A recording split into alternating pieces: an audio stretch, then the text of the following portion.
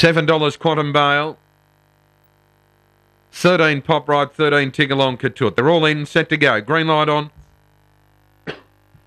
Ready at the Meadows. Racing.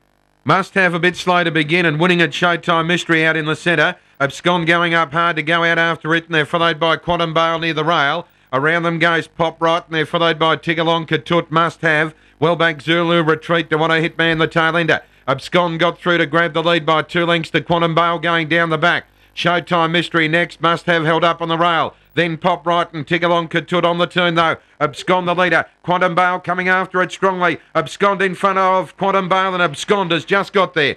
Beats Quantum Bale, I'd say, in a photo. Showtime Mystery third, then Tigalong Katut. Followed by Must Have, had no luck in the run. They want a Hitman Zulu retreat Pop Right. 30 42 the run.